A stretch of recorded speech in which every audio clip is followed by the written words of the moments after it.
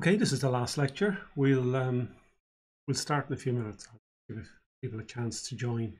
Chad, I started a little bit late. I'm sorry about this, but um, yeah, we're nearly there. So uh, we will get the slides sorted in a few minutes. Not too much to do today, but we'll um, we'll get there.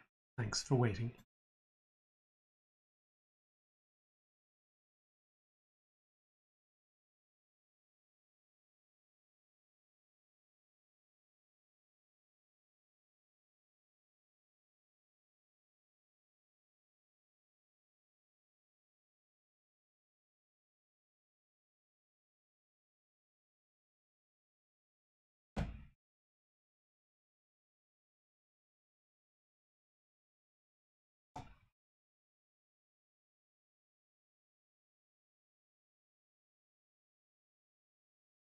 Look at chat. Um, yeah, hi Emer, hi Lara. It's nice to see you here. Thank you very much for coming.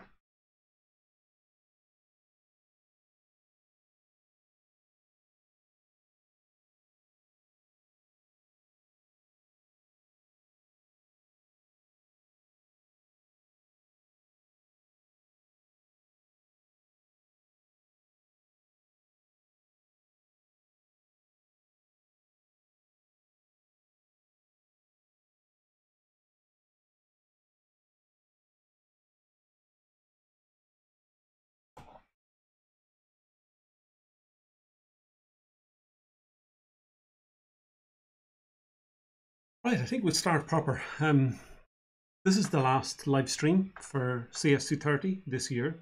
Um, from the outset, I'd like to thank you for your participation in the module. Um, it's been a tough one. It's been a tough year, a strange year, and uh, I, I, found it hard going myself. Um, I'm sure you did as well. and uh, I only have two modules to deal with. You have a lot more than me. But um, I think it was quite rewarding. Um, I learned a lot this year. I learned a lot more. Um, I learned something every year. You know, every time you teach something, you learn something new. And um, you know, it gives you even something you've done before. It gives you a chance to to really think about it a little bit more deeply. And and and again, it also is the same with teaching. You you think, well, will this work, or does it work, or did it work before? Does it work now? Does it not work? What can you do?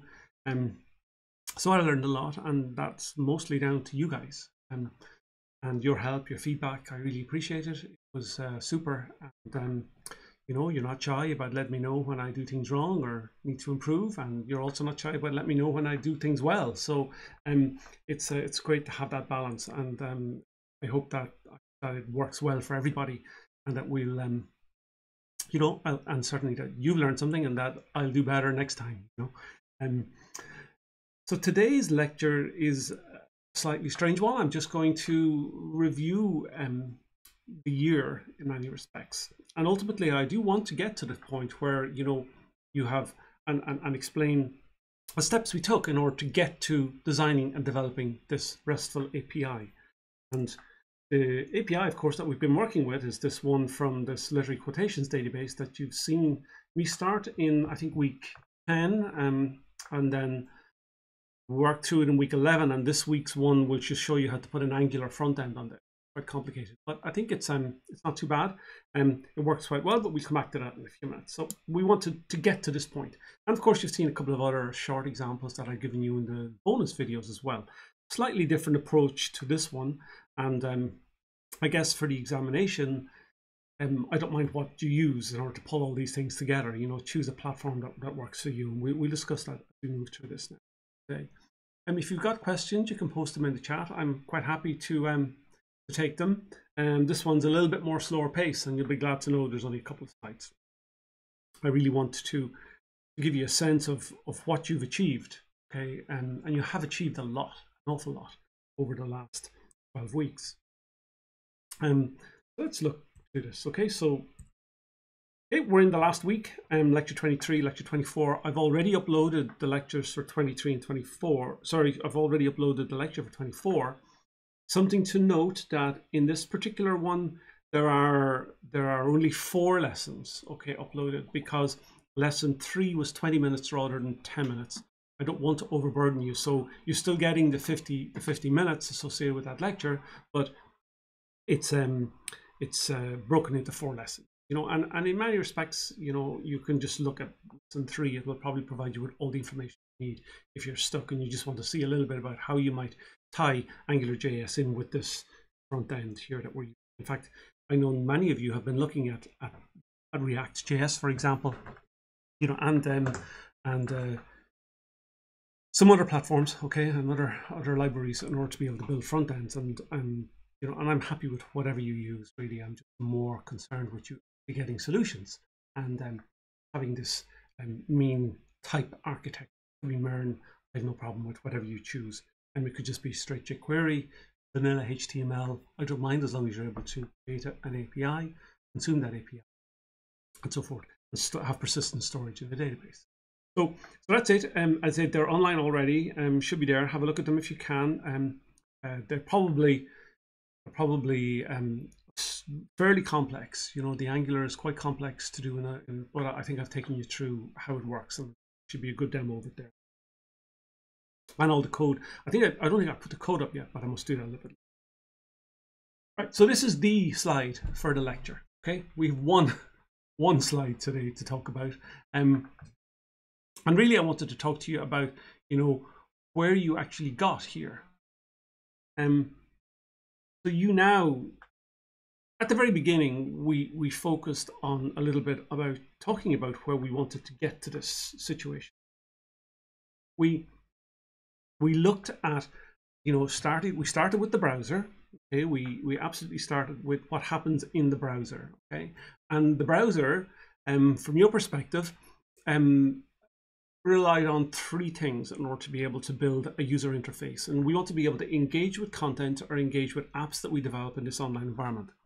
So we started off by looking at HTML, which is a way to structure content. And then we looked at CSS, which was a way to style that content. And we looked at JavaScript, which was a way to interact with that, with content. And so, you know, you did a couple of assignments, you know, that really worked, maybe three assignments actually, that worked a little bit more about trying to look and manage um, and up those skills to do with um, HTML, CSS, and JS. We looked at a little bit of theory around all of that. Um, and, you know, it was a it was a useful exercise in order to be able to get you up to speed quickly. Um, and I know some of you found it tough, and it was tough, and some of the assignments were tough and that's for sure. But it was like a baptism of fire. You know, you're really immersed in this, and um, and you did a great job actually. So I, I mean, I was very impressed with this. But this browser was key, and it is key because that's everything we want to do sits with this. Okay, and the browser may run on your your machine, it may run on your phone, on your tablets, could run anywhere. So I'll think a little bit about the sort of stuff we didn't do. Okay, we didn't talk about, for example, responsive design. And we didn't talk about how you might build or write um, front ends that are responsive and that will work really, you know, on whether you're on a, a mobile or whether you're working on a large screen or you're working on a TV or you have some kind of display. So we didn't explicitly talk about that. I know many of you, as and and as I do myself, use Bootstrap and other and other libraries in order to be able to build UIs, and these are inherently um, responsive in themselves. So they will respond and adjust uh, according to the size of the display that's available. Um, but a lot of the stuff that we would have looked at and, looked at and developed won't necessarily work across all the various devices. And for your own personal and professional development, it would be a good idea to perhaps look a little bit about responsive design.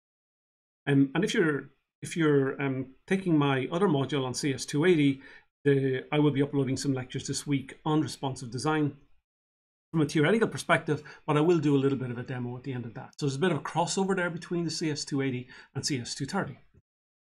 So we then, you know, we were looking at all this time. So we started off, you know, we were we were looking at, you know, maintaining data in memory or in storage, and so we were everything was stored in the browser in in, um, in JavaScript, right?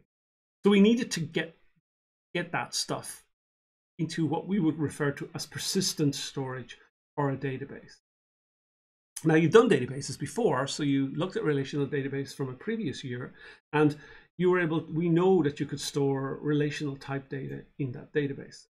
So as a priority, I thought it would be a good idea if we could actually look and think a little bit about um, uh, databases and how they could be used and handled and accessed over a network. because a lot of the time you would have been doing this using online tools and you were actually talking to these databases remotely in many respects because they would have been on a web server in the department or you know they could have been running on your machine as well of course but may not have been and um, and so you were actually talking to them so we wanted to be able to see how do we write programs that can do this so that allowed us to be able to build servers or services so we we and the purpose of this particular module in many respects is to expose the different approaches to working with servers and services. The traditional server is this LAMP type architecture. So this is the Apache web server running on Linux and um, either sitting under, um, or, or as we know, it will work with Windows, it works with Mac OS, um, and it also utilizes um, a way to extend that server so it doesn't just serve pages. Because traditionally you know the web servers all they did was serve these pages to the browser which were html and and that was it html you know, there was very little styling available. Then it moved to a situation where it could serve the css and then of course it could serve the javascript. So the javascript you know was mostly in LAMP type architectures as they're called and it, it would serve the javascript. We wouldn't have javascript running on the server as such. But we didn't need, um, in order to be able to, over time, we didn't need to be able to update our servers in a way that we could um, add additional functionality. So we could start processing data and be able to have this loop where we had data coming from the browser across to the server, processed and back again. We would then either, you know, serve pages that were already stored on the server, or we would dynamically generate pages and send them back to the browser. So when that was done, this loop here between the browser, server, browser, that loop um, was crucial. Then we needed to have some way of extending the server. And one way that we originally did this was like was using writing extensions um, in C that would would extend Apache. But you could um, and did people did use Perl for this, but mostly they would use PHP. Now um, we looked a little bit about PHP, and uh, because it came with the service and it, it and seamlessly integrates with Apache. It's really nice. It's very mature technology. It's been around a long time. And so we then, um, once we knew we had a way of being able to capture information that was sent from the browser to the server and process it and generate pages, PHP would serve well for that setup in order to be able to understand how all of this thing works, these blue line and, and, and, green line here that we look at, this was a HTTP communication between the browser and the server and the server and the browser. And it's a protocol that we use in order to be able to exchange information and data between these stateless devices, stateless systems. And so we needed to be able to understand that protocol. So we spent a little bit of time talking about and, and, and looking at and examining HTTP.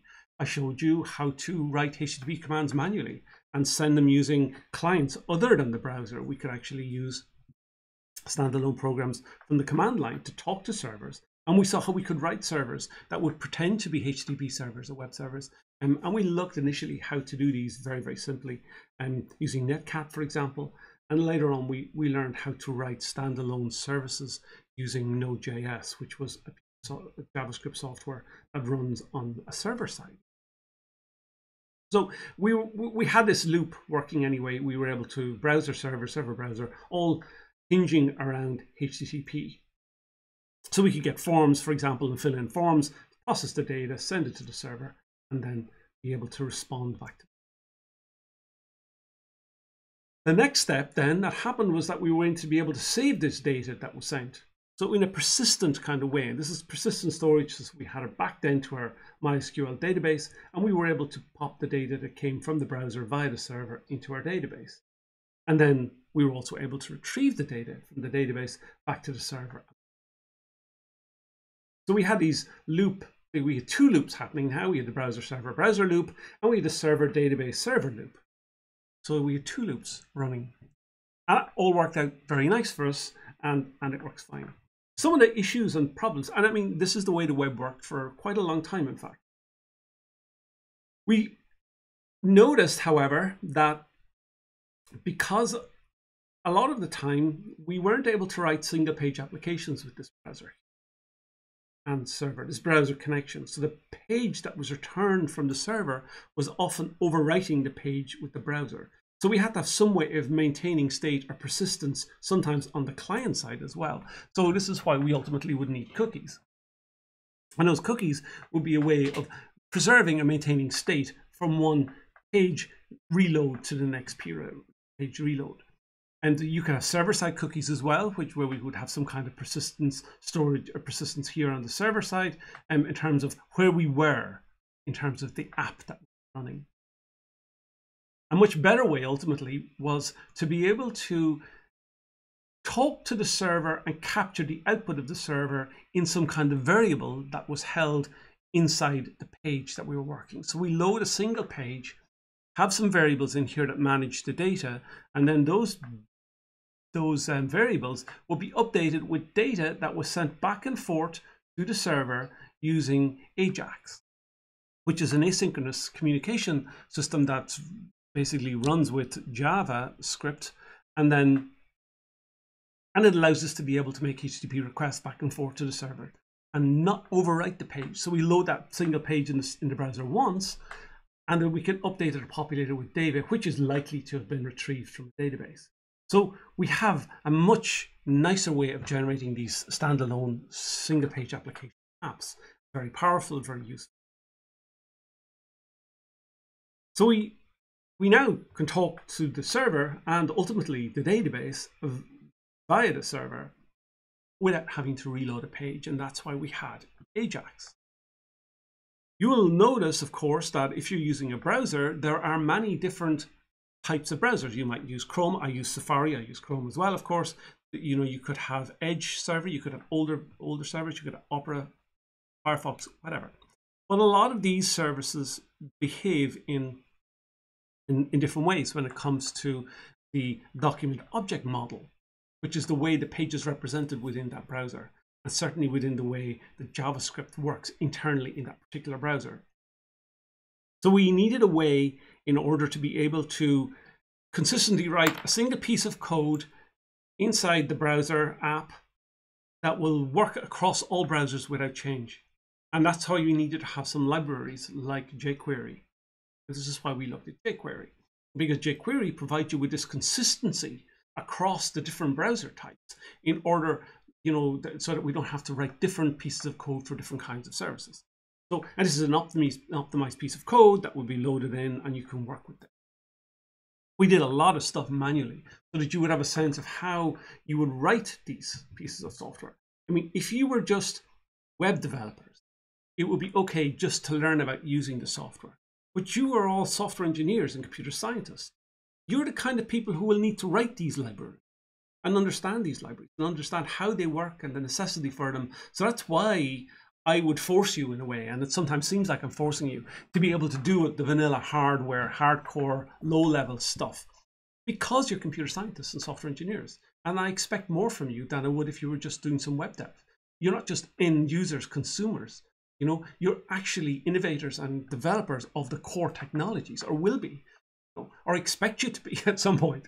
You know, you will be the future people who will be developing these libraries. So you need to know how it works at a core level first, so that you can develop new things. You know, I mean, the web in two years' time will be very different to the web it is now, and in ten years' time, it will be, you know, it will be unimaginable as to how these things will be. But I need you to be prepared for that. That's why I would focus on you doing a lot of the hardcore stuff without libraries so you gain a good understanding of the way everything hangs together. Okay? Might seem cruel, might seem tough, thing, but there's a reason behind all this. Why I've said it on. Um, but nevertheless, you got to the point where you could use jQuery, then it was okay to use jQuery Ajax rather than having to do all that, that hard, long-winded stuff as well. It also meant that you get a sense of understanding how object-oriented JavaScript will work at these.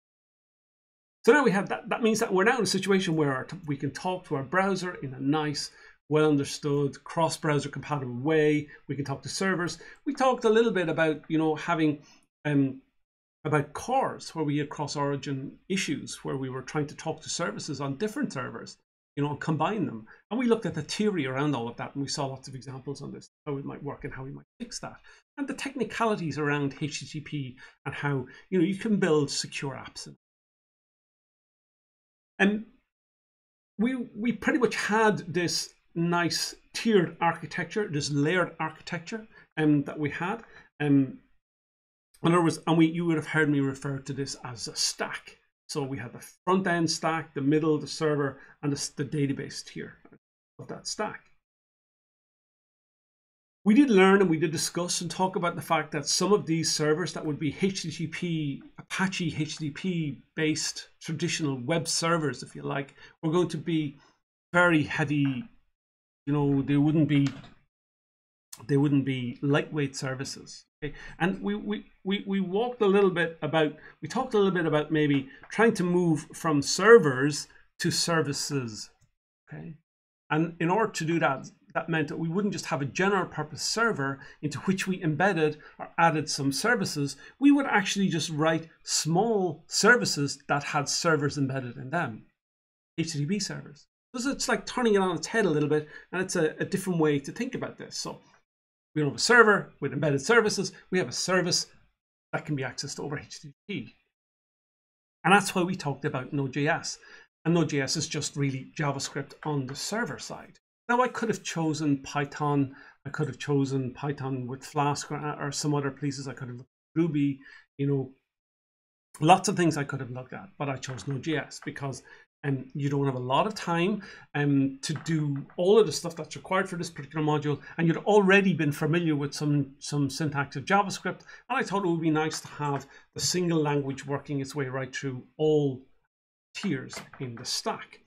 It's also expected you know for people who want to be able to do full stack development. So that's why we did this okay? So we set up and started working with servers and again i had an approach you know, where Node.js has a huge number of libraries available to us for accessing and building APIs, and for example, with Express, but I wanted you to do everything manually. Again, so that you get a sense of how all of these things work, get a sense of greater sense of pulling together and working with HTTP, because you're computer scientists and software engineers. You're not just end users or consumers of this technology.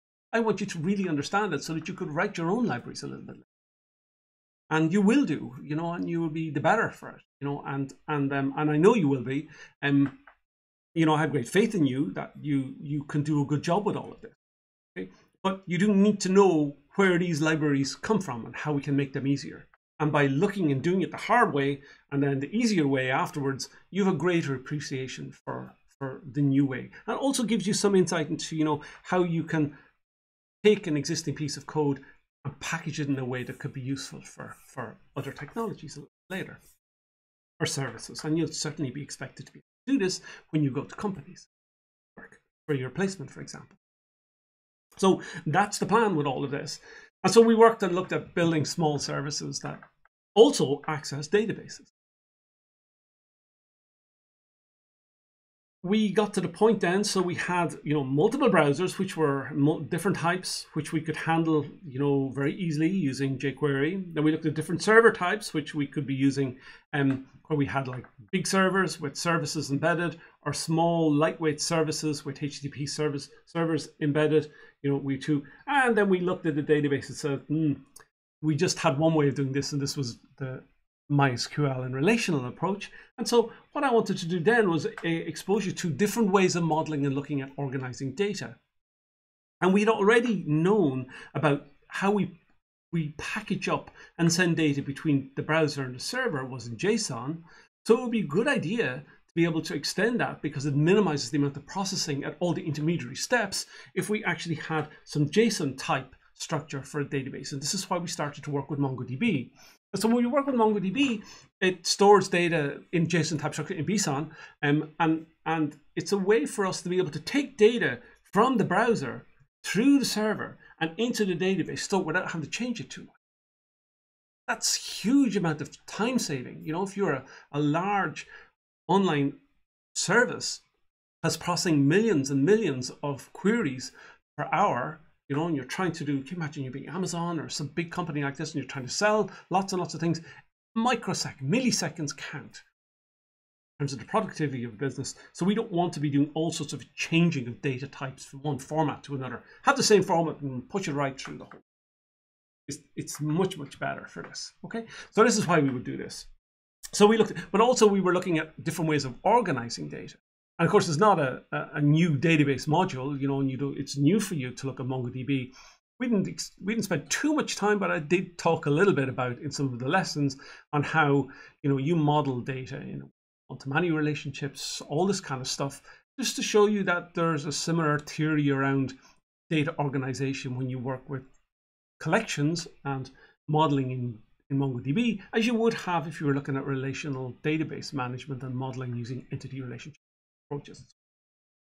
So, you know, we, we now have two options here, okay, for, for um, our database as well.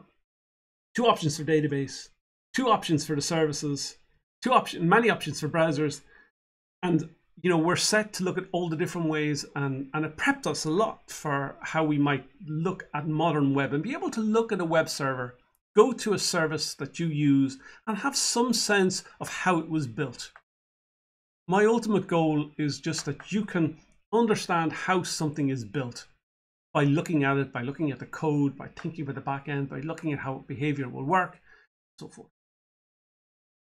But we could do all of these things and they were very much tied every every component was tied together. So we built a browser component we built a server component we did a database component and they were all really seamlessly tied together you know so that we couldn't reuse a lot of these things. If you needed to make changes to the server you probably had to make changes everywhere. You need to update the database.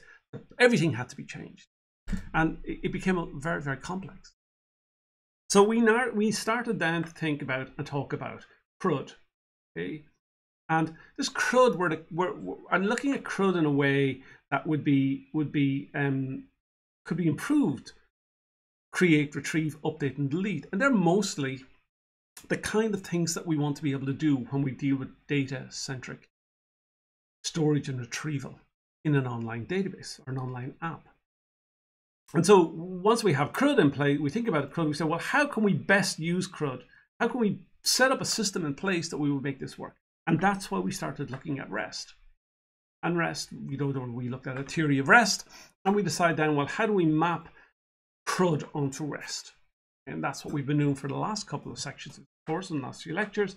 And we we um, found good ways to do this. And the reason we did this was because we were able to build an option for the server that would be independent of the browser and it, it's a well-defined interface that allows the sorry excuse me the service to be accessed by any kind of client that understands this RESTful API Connect call?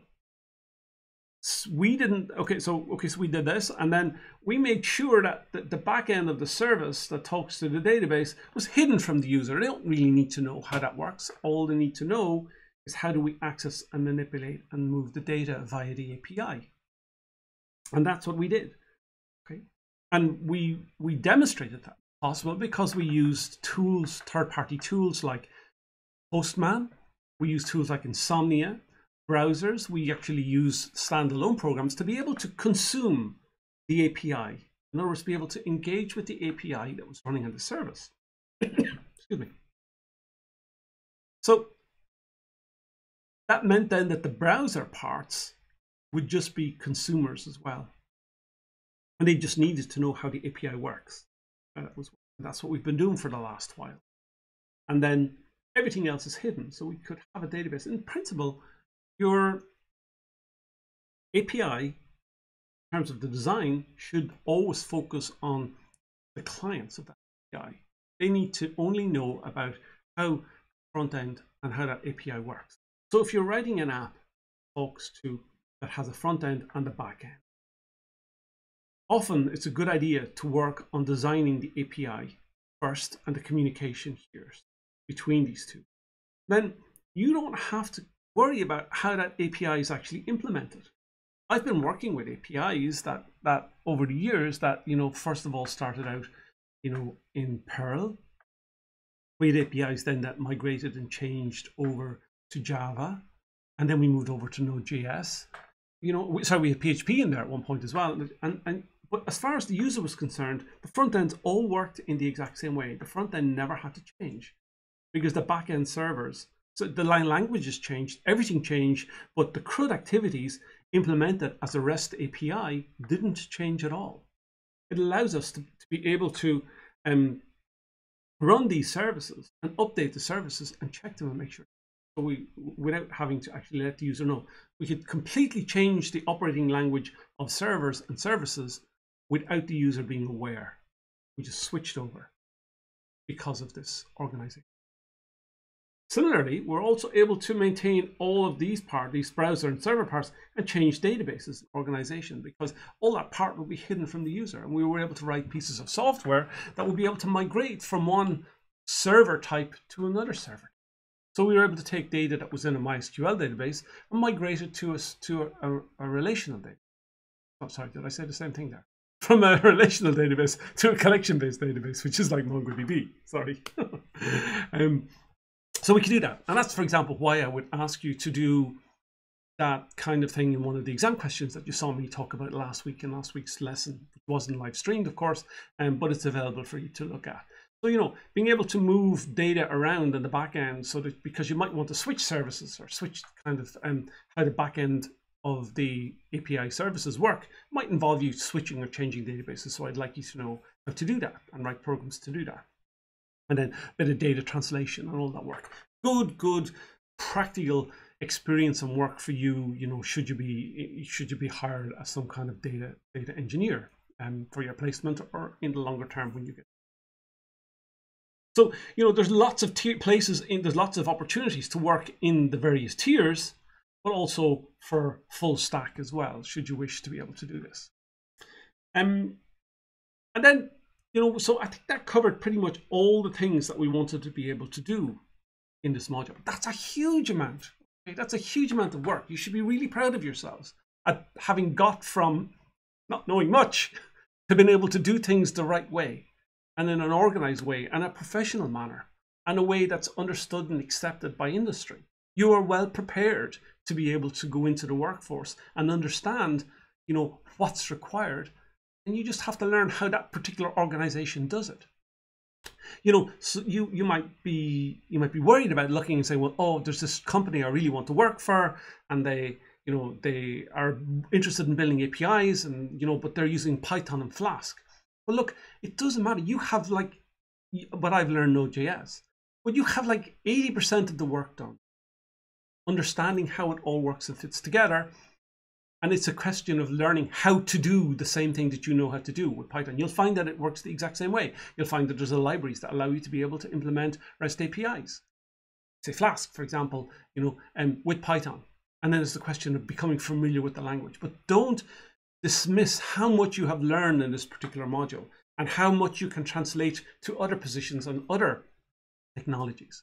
You know, if some other data, so you might come across a graph-based database. You might see um, there are lots of, of graph-based databases, for example, now, which is another form of NoSQL. Um, and uh, it's a nice way of organizing graph type structures like social media data or something for data mining and so forth. And you think, well, I'm using MongoDB. Well, you know, okay, so learn a little bit about the graph technologies. Nothing else will change. The services will still be the same. You just have to understand how that particular database will work. Nothing else will change. The front end, the server, just the database tier change.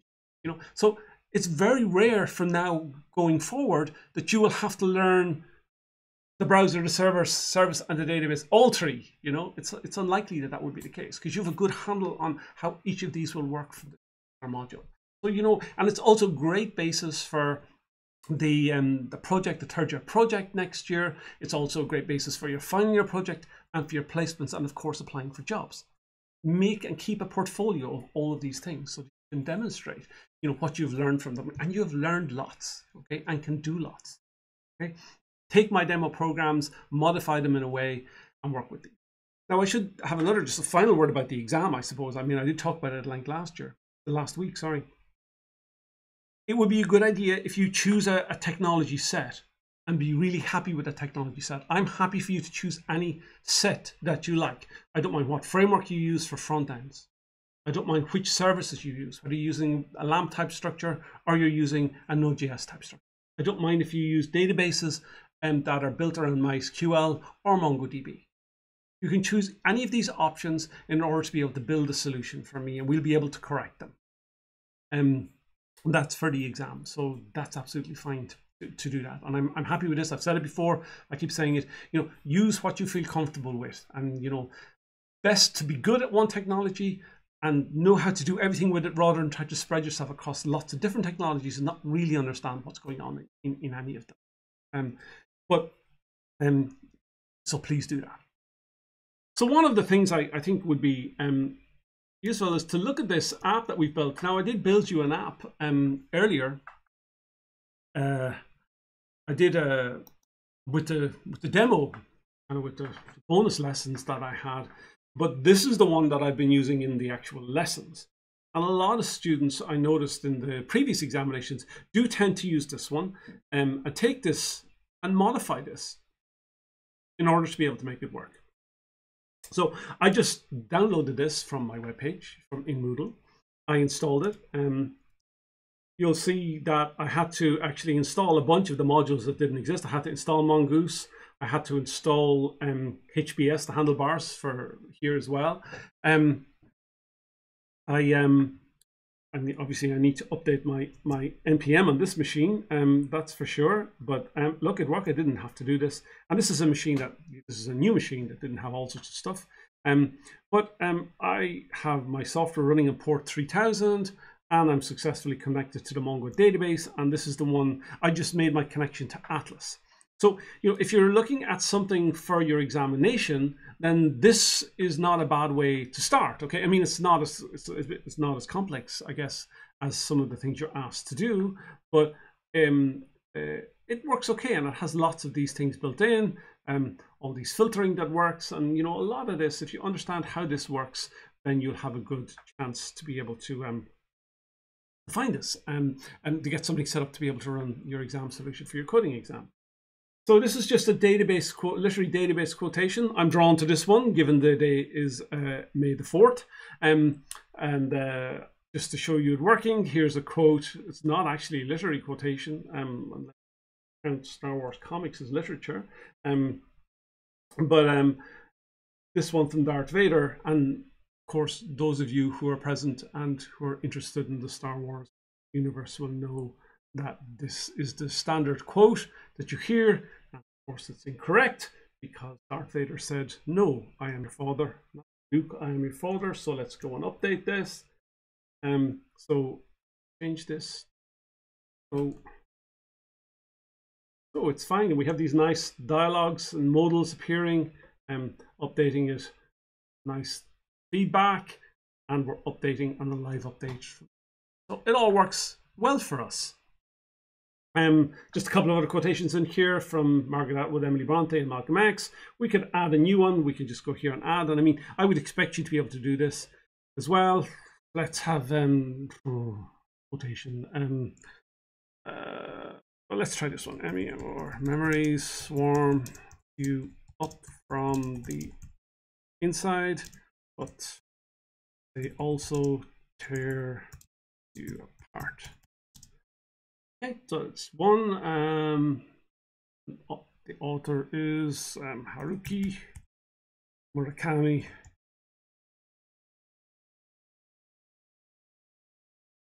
Murakami, so save this. And so, yep, so here we have the, the Murakami quote has just been added.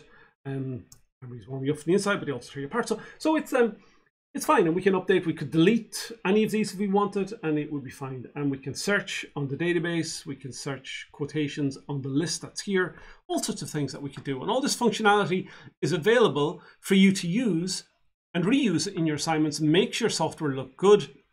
You don't have to do much to be able to make it work but it gives an enhanced interface to the database that you have. I mean for this particular database the backend is um, is MongoDB.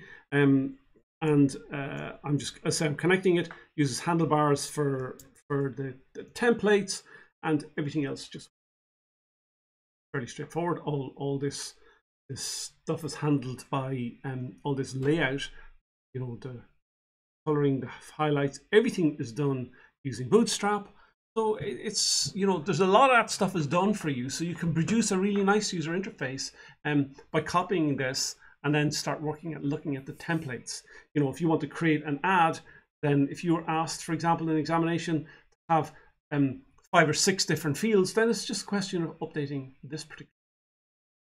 So build on something that works. If I was you, I would make sure and, and, and, and work from there. Um, you remember the coding examination for this particular module um, is a 24 hour coding examination. You get 10% for the UI, you get 10% for the service, the backend service, and you get 10% for the database model. And you know, the you know, the you, know, you can have some parts working, some other parts won't work. But it's still possible to get a fully working testable UI that's you know independent of the API, the REST API that's provided by the service, um, and also from from the database. So you know there's lots of ways to pick up marks and make it work. And here's the fully working app that's available for you to download and install.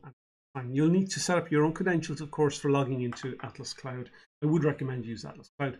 I don't think I produced a version of this that works with relational databases. Um, I did have a version that works with uh, Angular, but it's hard going, you know, and uh, and um, it was hard going for me as well. But it's uh, it's like huge amount of effort to get something that's that's still similar to this, and this is a lot less effort.